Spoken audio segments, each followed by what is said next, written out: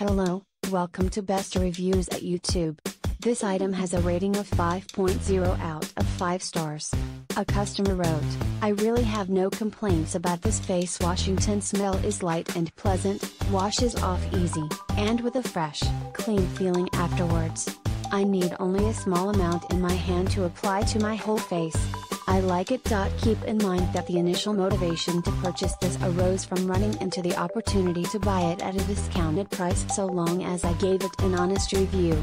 I'm an academic who doesn't make a ton of dough so I appreciate these opportunities to try out products I wouldn't ordinarily be able to try out, and in turn let the little world of Amazon know my perspective on it.